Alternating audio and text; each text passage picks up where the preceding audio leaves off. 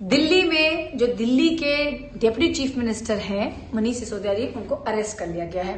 तृणमूल कांग्रेस और बीआरएस जो है, वो तो आम आदमी पार्टी के सपोर्ट में आ है लेकिन कांग्रेस पार्टी ने बहुत ही तीखे सवाल आम आदमी पार्टी से पूछे हमारे साथ कांग्रेस पार्टी के वरिष्ठ नेता संदीप दीक्षित जी हैं। सर, सबसे पहले तो आपको क्या कहना है? पूरी की पूरी आम आदमी पार्टी आज सड़कों पर है, प्रदर्शन कर रही है। मनीष सिसोदिया जी को सीबीआई ने अरेस्ट कर लिया है। आप क्या कहते हैं ये तो एक विभत्स नाटक है। क्या मतलब है इसका? कानून कानून होता है। और कानून में अगर आप गलत काम नहीं किया है तो कोर्ट तय करती है, सड़क थोड़ी तय करता है। जिस तरीके से इन्होंने पहले सड़कों पे जाकर तूफ़ान मचाया था इस देश में, और तमाम लोगों को भ्रष्ट डिक्लेयर किया था, आज वही उल्टा इन पे पड़ रहा है। मेरा यह है कि कानून है, कानून को अपना काम करने दीजिए। और इसमें क्या आश्चर्य की बात है भाई, ये जो आज ये एक, ये तो बल्कि मुझे कभी कभी जैसे कल भी मैं आपसे बात कर रहा था कभी कभी तो मुझे ऐसा लगता है जैसे वो पुराने माफिया डॉन जो होते थे ना, वो जब गिरफ़्तार होते थे तो अपने गुंडों को, बदमाशों को बुलाकर हल्ला कराते थे कि बड़े पॉपुलर हैं, कि किसी तरह से रुकता है ये तो बिल्कुल मुझे माफिया टाइप का मामला दिखता है। ये क्या मतलब है? आपको लगता है सीबीआई गलत कर रही है, ईडी गलत कर रही है? आप धरना दीजिए, प्रोटेस्ट करिए।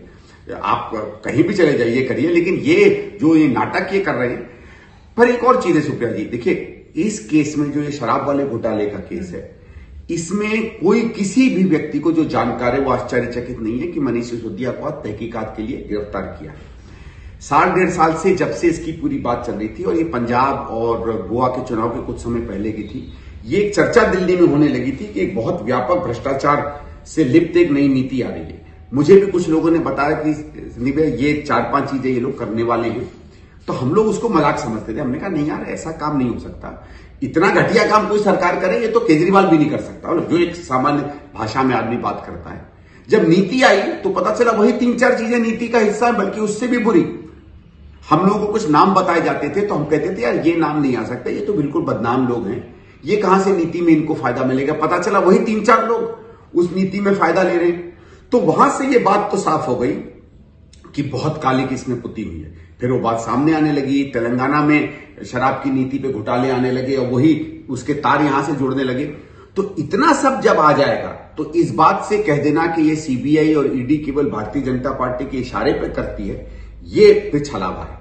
हो सकता करती होगी, ज़रूर करती है, बहुत सी चीज़ों में करती है, लेकिन इस केस में हमें सत्य ज़्यादा दिखता है और राजनीतिक द्वेष कम दिखता है। इसके साथ साथ बीआरएस और टीएमसी तो आम आदमी पार्टी के सपोर्ट में आप सवाल पूछ रहे हैं। देखिए बीआरएस तो करेगी। देखिए बीआरएस तो करेगी ना क्योंकि बीआरएस खुद इसमें संलिप्त है। हम्म। जो दिल्ली के शराब घोटाले के तार हैं वो तेलंगाना के शराब घोटाले से मिले हुए हैं। टीएमसी का तो पुराना ऐसा उनका तो द्वेष रहता ही है ना कांग्रेस से। हम्म। तो और टीएमसी ने आम आदमी ने इन्होंने मिलकर बड़े ख्वाब देखे थे। 2019 में भी पहले भी कि देश में काबिल हो जाएँगे। तो इन लोगों का सपोर्ट करना या समर्थन करना को मैं गंभीरता से नहीं लेता। अच्छा जो ये कह रहे हैं कि बीजेपी एक द्वेष की भावना से कर रही है। ठीक है करती है बिल्कुल करती है। पर मेरा ये कि जब औरों के साथ द्वेष की भावना से कर रही थी तब आप क्या कहाँ गए थे? और 2012-13 में आपने दिल्ली की उस समय मुख्यमंत्री के बारे में पचासों चीज़ें कही चिदम्बरम जी के बारे में कही सलमान खुर्शीद जी के बारे में कही तो आप क्या कोई भजन गा रहे थे उस समय? हम्म। ये आपको याद होगा केजरीवाल कह रहे थे कि दिल्ली सरकार के खिलाफ मेरे पास साढ़े तीन सौ पेज का सबूत है। मैं आपको बताता हूँ एक कहानी जो बता देगी आपको कि पूरा ये कितने सच थे और कितने महा झूठे थे। एक बीजेपी के बहुत वरिष्ठ नेता मुझे मिले कुछ दिनों बाद। ये इनकी दूसरी बार सरकार बन गई थी। तो 2016 की बात होगी 17 की बात होगी। तो ऐसे मज़ाक मज़ाक में कह रहे थे कि यार ये तुम्हारा केजरीवाल तो बिल्कुल ही हम तो नहीं समझते थे कि इतना बड़ा फरेबी है। ये उनके शब्द थे। तो मैंने कहा क्या हुआ भाई साहब? कहने का यार क्या हुआ? जब सरकार इनकी बन गई दूसरी बार तो हम एक डेलीगेशन लेके गए इनको मिलने।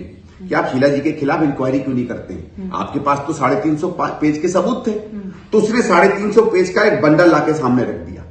तो कह लेगा हमने जब बंडल देखा तो न्यूज़पेपर की कटिंग थी मतलब वो पब्लिक को भी सरेआम बेवकूफ़ बना रहा था और एकदम झूठ बोल रहा था उसके पास एक सेंटेंस का प्रूफ नहीं था और मैं और पूछना चाहता हूँ ना, सारी फाइलें आपके पास, पूरी पीडब्ल्यूडी आपके पास, जल बोर्ड आपके पास, बिजली बोर्ड आपके पास, अगर कांग्रेस ने भ्रष्टाचार किया था तो हमारे चूहे पर भी तो केस कर देते वो भी नहीं आप कर पाए। हम्म। और ये इसलिए है क्योंकि झूठ बोल के फरेब बोलकर मीडिया का और नाटकीय चीज़ों का इस्तेमाल करके माहौल बनाना इनकी पुरानी आदत है। लेकिन वो आदत लोगों में तो चल जाती है चुनाव में चल जाती है सीबीआई पे नहीं चलती। तो मतलब आप कह रहे हैं कि जो प्रक्रिया रही है इस मामले में सही है? भाई मैं कह रहा हूँ प्रक्रिया वो कर रहे हैं ना। सही गलत तो कोर्ट बताएगी ना? तो आपको परेशानी क्या है? हम तो यही सवाल कर रहे हैं ना। ये हम क्या समझते हैं क्या नहीं समझते उसको भी परे छोड़िए। हमें मालूम है पुख्ता कि इन्होंने भ्रष्टाचार किया, चलो उस बात को भी छोड़िए। क्योंकि मैं क्या जानता हूँ, वो सबूत नहीं है। आप पर सीबीआई इंक्वायरी कर रही है? करने दीजिए। सबको पता है कि सीबीआई इंक्वायरी में आपको बुलाकर तहकीकात की जाएगी। दो चार दिन, पाँच दिन जितनी भी रिमांड मिलती है, मिलेगी। रिमांड से आप छूट जाओगे तो भी कोई सबूत नहीं है कि आप गिल्टी नहीं हो। और रिमांड पर रहेंगे भी तो भी कोई सबूत नहीं है कि आपने गलत काम किया। जब कोर्ट पर केस आएगा, आप पर केस चलेगा कोर्ट तय करेगा। कि आप मुलजिम हैं कि नहीं है, तब देख लेंगे तो ये कह रहा था कांग्रेस पार्टी के वरिष्ठ नेता संदीप दीक्षित जी का इस पूरे मसले पर। कैंपस कृपाल सिंह के साथ, मिस्टर प्रभार आज तक।